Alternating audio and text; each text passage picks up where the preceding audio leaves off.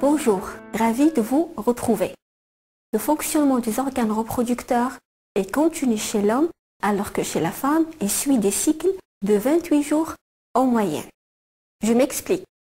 Le rythme de production des cellules reproductrices chez l'homme et chez la femme est donc différent.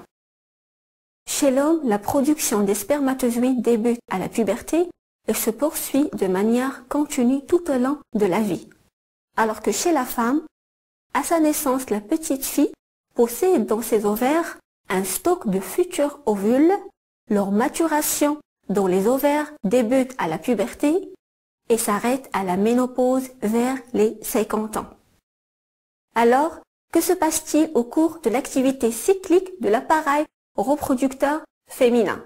C'est ce qu'on va découvrir ensemble dans la partie suivante.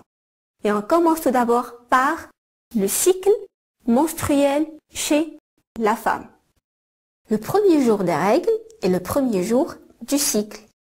Les règles reviennent en moyenne tous les 28 jours.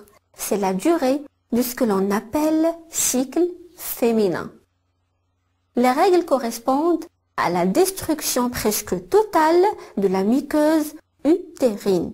C'est ainsi on explique l'origine des règles. Ovaires et utérus ont un fonctionnement cyclique.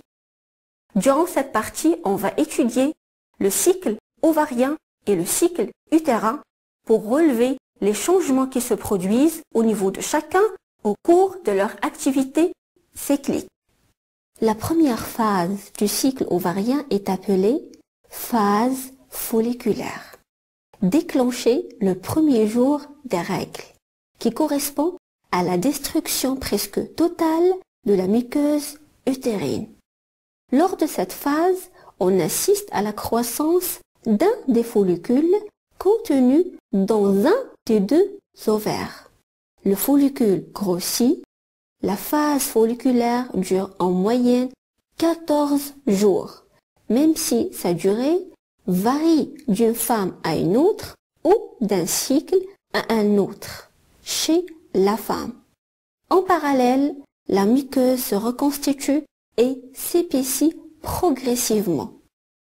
Autour du quatorzième jour du cycle, le follicule éclate et libère l'ovule qu'il contient dans la trempe utérine.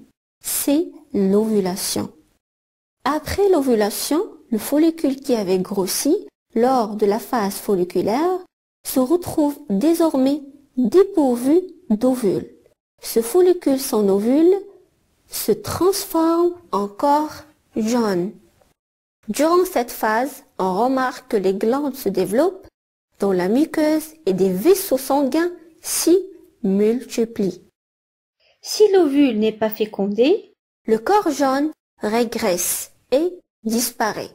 Cette dernière phase du cycle ovarien, caractérisée par la présence du corps jaune, est appelée phase lutéale. Vers la fin du cycle, la muqueuse est à son épaisseur maximale. Si l'ovule est fécondé, elle est prête à accueillir un embryon.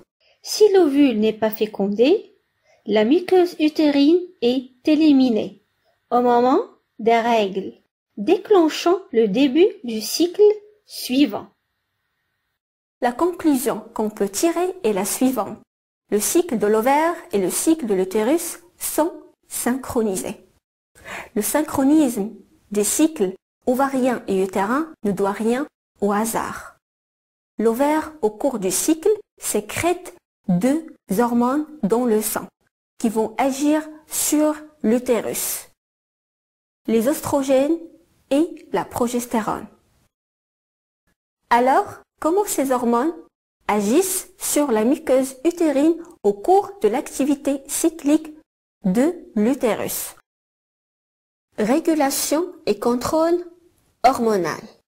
Au début du cycle, la concentration sanguine des deux hormones est très faible. C'est ce qui cause les règles.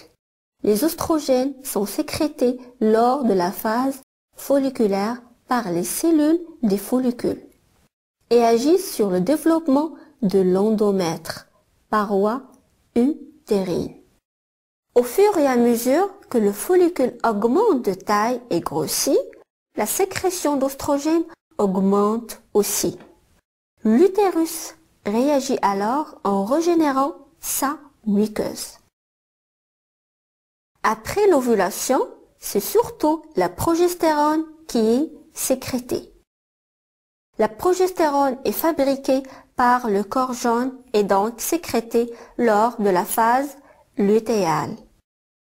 Permet essentiellement le développement des vaisseaux sanguins qui serviront à l'alimentation du futur fœtus et aussi elle agit sur le muscle de l'utérus en bloquant ce dernier et l'empêche de se contracter. Dans le cas de la non-fécondation, le taux de progestérone est réduit vers la fin du cycle, ce qui provoque la contraction du muscle utérin et la destruction de la muqueuse utérine, ce qui déclenche l'apparition des règles. C'est le début du cycle suivant. Notre vidéo touche sa fin. Je vous donne rendez-vous pour une vidéo prochaine, toujours sur le thème de la reproduction humaine, durant laquelle on va détailler un événement majeur qui est à l'origine de la cellule œuf première cellule du futur bébé, la fécondation. Au revoir.